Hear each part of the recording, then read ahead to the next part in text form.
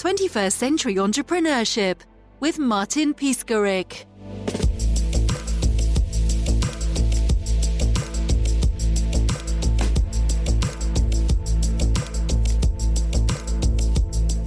So here I am. It's great to be here. Thanks for having me, Martin. Uh, I guess in terms of where I've been and who I am and how I've got to where I am today, this is my second company, Quality Mind Global. Uh, I'm an entrepreneur at heart. I've always loved business from the day I went to school. I actually didn't finish school. I was a wild kid in different gangs and all sorts of trouble. Uh, and then all of a sudden, I fast tracked into a position where I loved human performance. And I thought to myself, this is my this is my area. And I didn't know that until I was about 22 years old, uh, as I destroyed my elite sports career by not being mentally tough enough uh, and seeing all the holes and issues within that short time frame.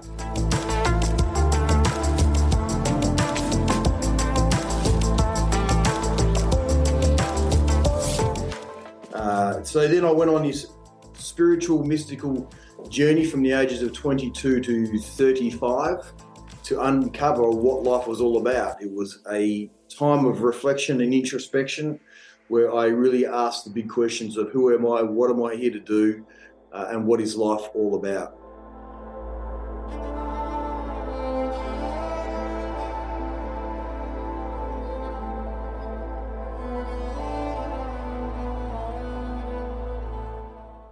that generated a lot of energy within me and my passion was born and I couldn't get enough of it. So I was hanging out at New Age bookstores, I was reading up on every religion.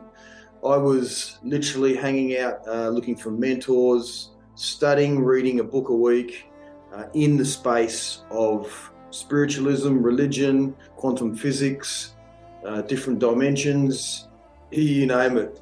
So uh, I was uh, had my I thought my feet were on the ground, but they probably weren't back in then.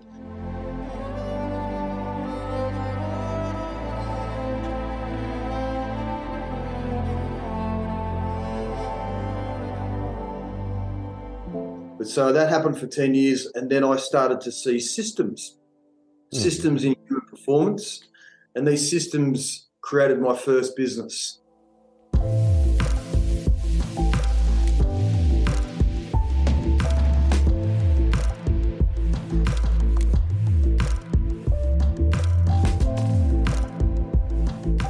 I was I had a love for sport and I won a lot of premierships and championships along the way. I was lucky like that with uh, semi-professional sports teams after uh, not being successful at my elite career. Uh, and then I started to see a system with that. So I systemized it and sold it to sports teams around the world and created a franchise.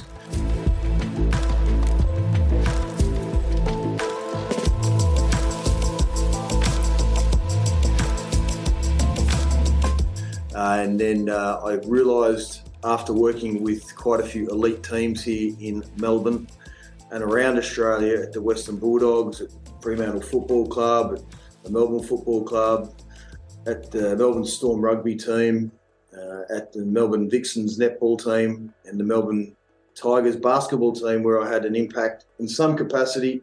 And plus, with another 50 sports teams, I realised that uh, my system was solid, and it was time to take it around the world to the business businesses. And so I partnered with a successful business coach company in the states, who exploded my business really quickly to about have 700 plus franchisees in a matter of three mm. or four years.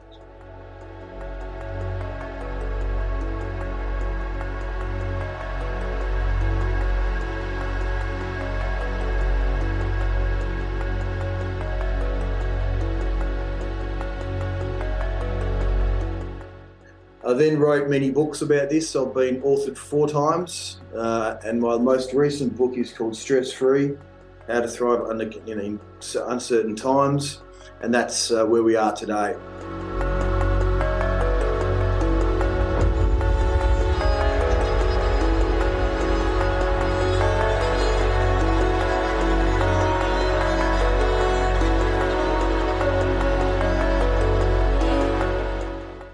So I sold that company and won quite a few awards here in Australia, the Telstra Business Awards, the Optus uh, business awards and so forth. And then on, I went to sell that company because I realised and I saw another huge niche and challenge in the marketplace, and that was mental wellness. I just realised after having 20 years of having different psychologists and therapists and family counsellors and studying psychology and life coaching, I realised there wasn't a, there needed to be a faster method to help the mind expand and to allow the individual to become their best version of themselves.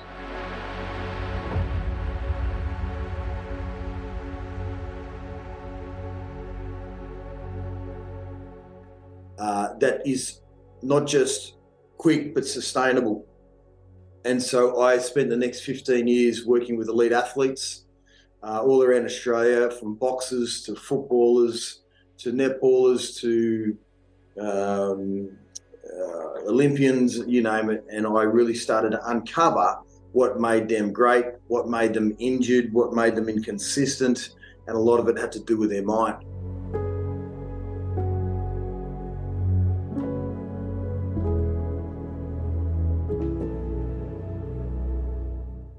And so I built technology around it because I know that the mind needs assistance along the way because we are lazy. Human beings are literally lazy somewhat. So to create massive transformation within the self, technology is critical. Uh, so that turned out to be quite successful.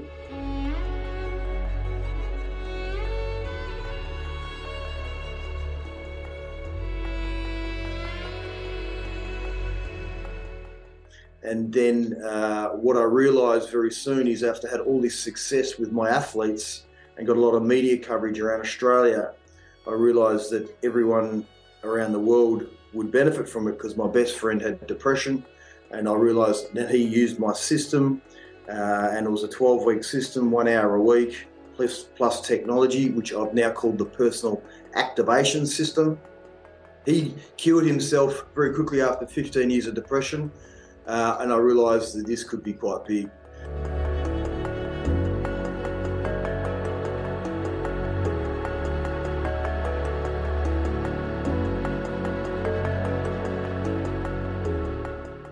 So I built this business for quite some time behind the scenes. Or I had my first company growing, which is called Engage and Grow Global, and uh, and so I then partnered with an elite athlete here, Shaun Higgins, who was one one of my clients, who's a quite a respected footballer in Australia, and uh, we went on the journey to build this out. So.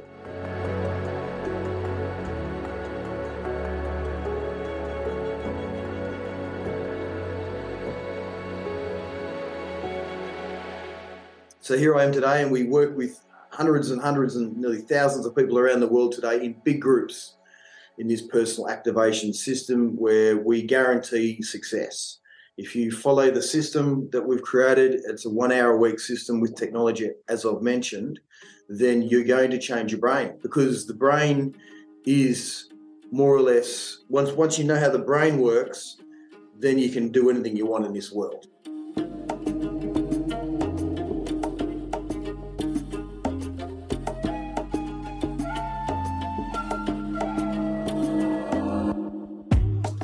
So most people that come to us now are stuck in a rut in some capacity. And that stuck in a rut would be they're not wealthy enough, they don't have the relationships they want, they have health issues, they just don't haven't achieved what they wanted to achieve at this stage of their life. And I'd say majority of people are aged between 30 and 65 that come to us.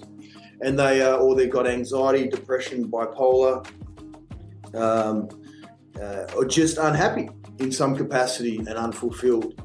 And so when we take them on this journey, which is a journey of really changing your identity, but the key factor here is to change the brain, there's only two major and quick ways. And the first way is to understand that your program is in your subconscious mind. Mm. Okay, so when you realize that your program, and what I mean by program is in the first seven years, and a lot, of, a lot of your listeners will probably know this, but if they don't, it's important to understand, is your first seven years as a human being are the most important because our brains are actually in a hypnotic trance as children. And then we get our subconscious mind gets impacted. It's soaking up as much as it can so it can actually at the age of seven then it can actually go out and have its own identity it can be part of the tribe it learns the language it learns the, the way to act and so forth and they can actually stand on their own two feet what that means is to change the subconscious mind is very difficult because your program is set. So if you've grown up in an environment where you have a single mother, you're more likely to have to be in a single environment, a single family environment. If you've grown up in an environment where your parents are not wealthy and poor, you're more than likely to be poor. It's because that's the language that you've been learning. And it goes on and on and on. And if you've grown up in a place where your parents are, are sick, then you may have this pattern that you will take that sickness on. And so this is just modern day science.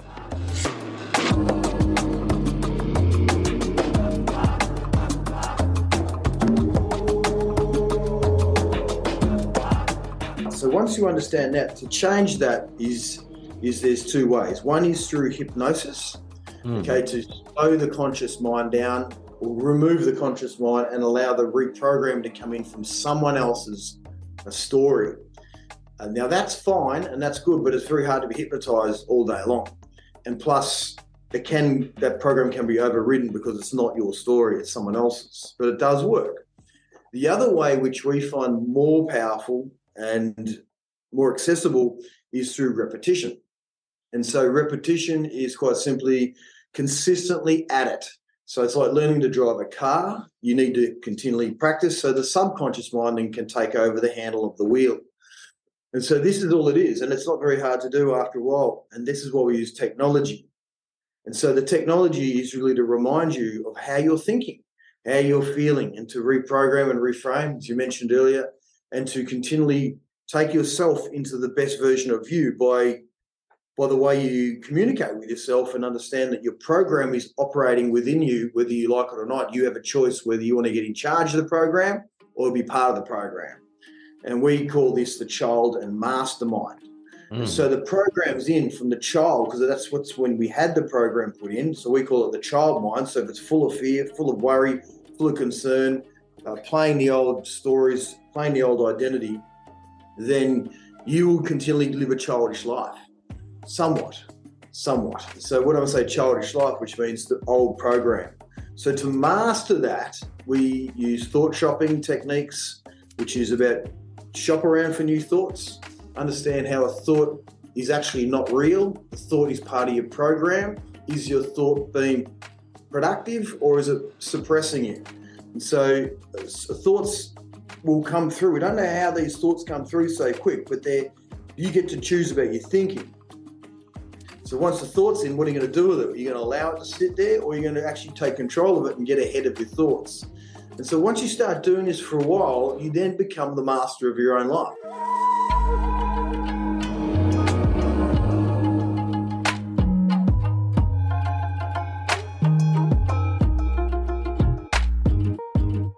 And this is why we guarantee our programs because we know that if you impact the app we have today, and I'll give you guys access to the app if you like, as part of being on this podcast with Martin is is seven times a day is the bare minimum to reprogram the mind, which means you get seven notifications a day or 10 or 20, whatever it may be, and you get in charge of your thinking. And after 21 days, you're going to start to see a shift, right? You're going to see your thoughts change into who you really want to become. And after 60 odd days, they say, and we've seen this time and time again, is when that thought becomes a habit and then you start changing your identity. So we know that at 12 weeks or eight, nine weeks, you're going to be a different person, and we measure this uh, every couple of every month. And then you go to six months, where you've completely become a new person, unless you drop off on the basics and the one percenters of maintaining that masterful life. So then we get into the space of understanding that our mind, our thoughts aren't ours. Then we go into how do we create the life of our dreams. And you create the life of your dreams by simply what we started with there is your thought processing and then getting clear on what you want. Most people don't know what they want. Most people are unconsciously going through life, literally in a, in, in a shadow of abyss. They just hoping to get through the day. It depends on also your financial structure, but they're just hoping to get through the day, through the week, and not being crystal clear on what they want. Now, we are here to create on this planet Earth. And so if you don't know what you want, you're just going to consistently get what you had in the past. And it's really important to understand. And we just find a lot of our clients that come to us, they don't know what they want. And then all of a sudden they start writing down what they want. They start bringing it into their happiness, their vibration, like they actually have it now. And this is part of the training. And when they get to that stage, and then all of a sudden within three months, or two, one month, two months, three months, four months, and there's no time frame on this because the universe works in extraordinary time zones because we actually the, the universe doesn't have a time, right? So there's a whole another element of this third and fourth dimension that we live in. And so once we start putting the the frequency out there into the vortex of what we want, then you'll be amazed of what we what you get.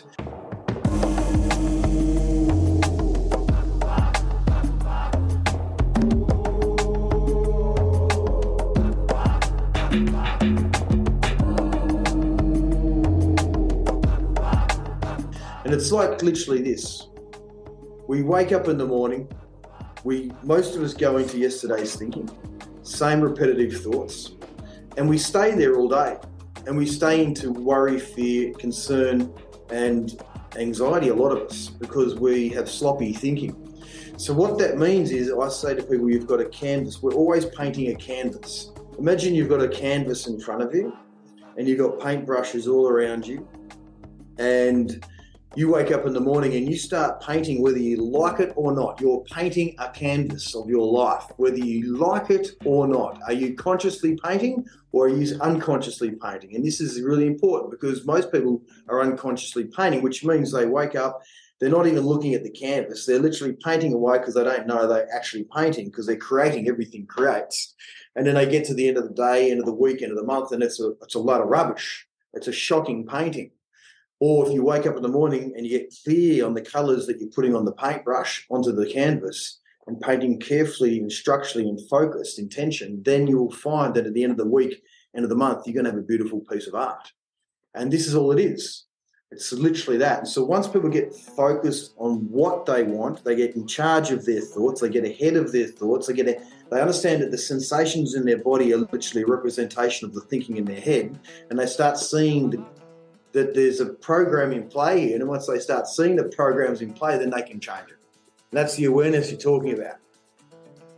Um, and so once that track takes off, then neuroscience kicks in, and it, it is just all that. It just creates uh, this new person, and that's what I'm saying. Personal development is dead.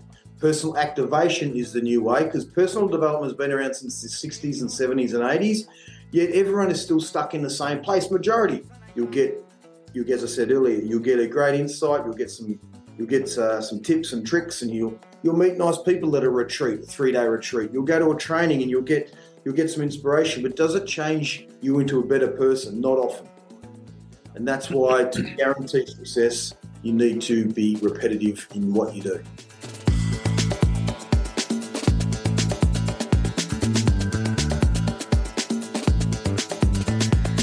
Let's talk about autopilot versus awareness. And this is really important because, as I said earlier, most people aren't even aware that they've got a program within them. So they just think who they are is who they are. Well, that's not the case.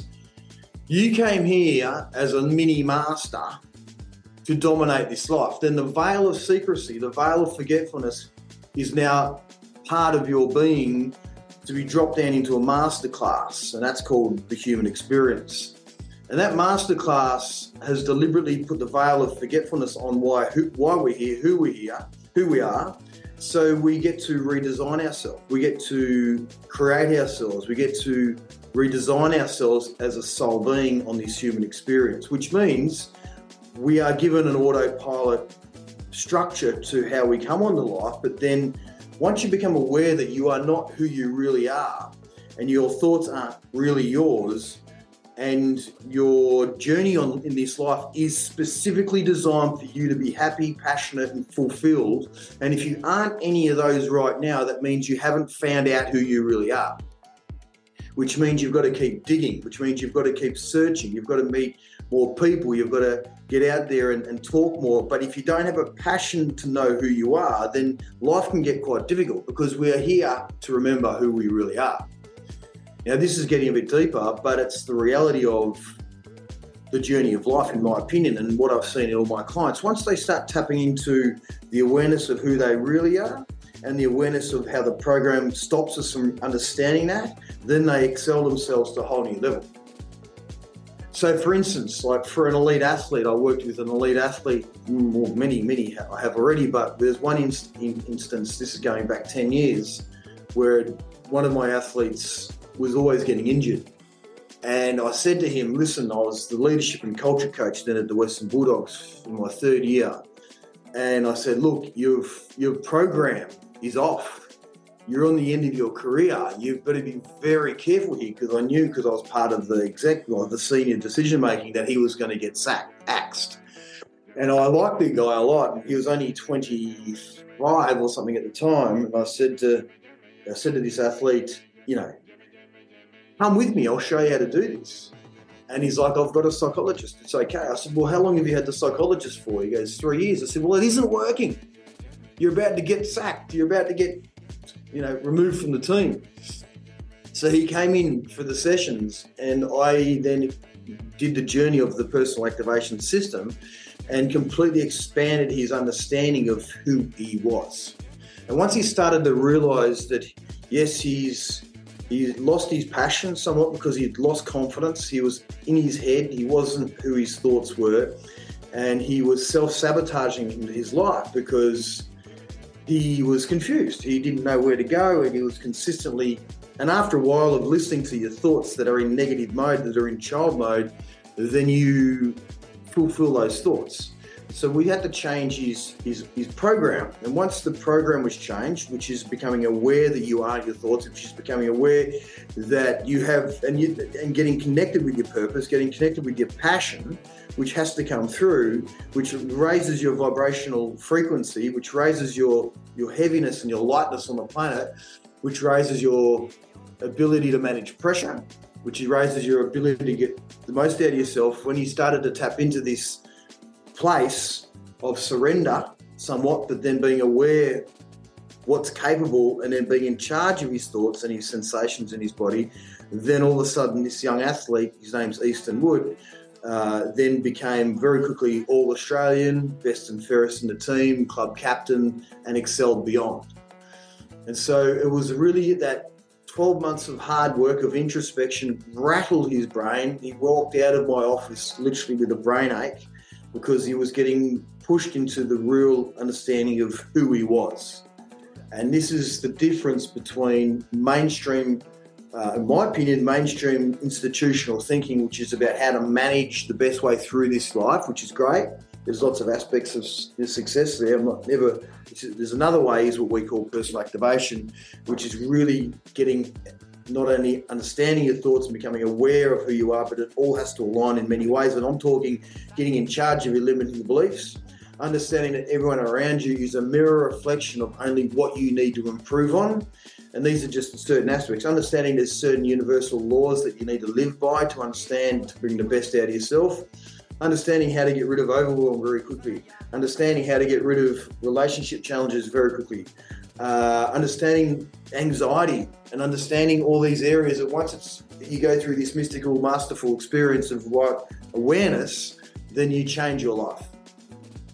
You completely become a different a better version of yourself. And I can only tell you, and that's why I think I know, well, this might sound a bit inflated, but I'm very passionate, as you can tell, is I'm the only company that I know is a global company that offers a guaranteed success rate because we know how to change people if they're willing and they're up for it. And that's the key thing here, Martin, is not many people, one, want to change because they've tried it in the past and they think, well, I've tried it, there's no point doing it, and I get it. And a lot of people are burnt by that because that, that was personal development.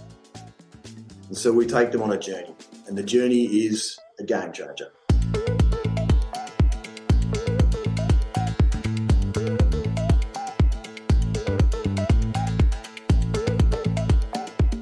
Life is happening for you, not to you. So once you tap into the slipstream here of getting in flow, which is which is starts with awareness. Okay, then you'll start to see that everything is happening for you. Right, so you're getting pushed to always grow. You're getting pushed to become the master of your life. You're getting pushed in some capacity to to get your life to the degree where you signed the contract before you got here. You don't know what it is, you've forgotten what it is, but there's a soul contract for you to come down to this planet Earth to go through this experience. And so your soul will always push you to go and achieve that. But the mind is so strong, it will sometimes take you off on a different tangent, off on a different journey. And so this is really understanding the body, mind, and soul journey. But synchronicity has a big impact on that because you're always being guided to the path of least resistance for you to get to where you need to be to fulfill this journey. So understanding the symbols, the, the stop signs, the, the, the way things happen to you, uh, or for you, I should say, in a beautiful way, but we sometimes dismiss it as um, accidents or, or misgivings, but everything is happening for you for your growth.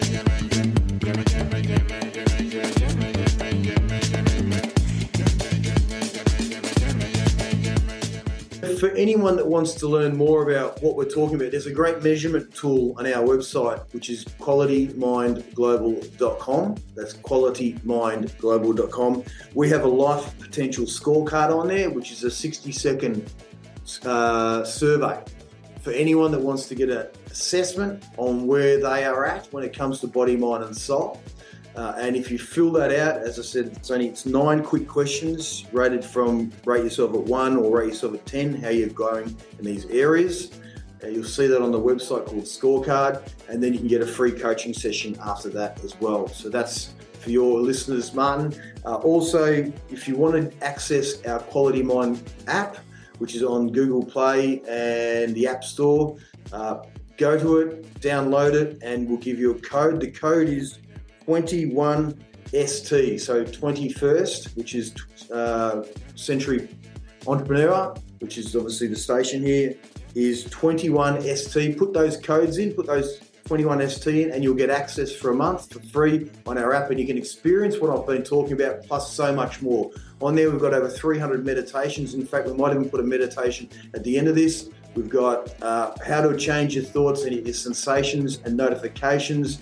We've got in there how to remove overwhelm, relationship challenges. It's a it is a coach's toolkit for everyone and anyone around the world that want to fast track themselves uh, with the right tools that actually work. If you need our assistance, we'll be there for you as well. But most importantly, go and try it, taste it. If it feels right, yell out. If not, enjoy the journey. 21st Century Entrepreneurship with Martin Piskarik.